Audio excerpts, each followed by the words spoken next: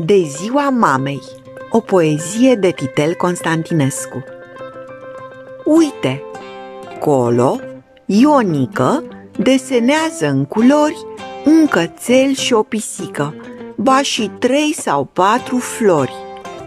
Mâine e doar ziua mamei și în cămin copiii vor bucuroși să pregătească daruri pentru mama lor.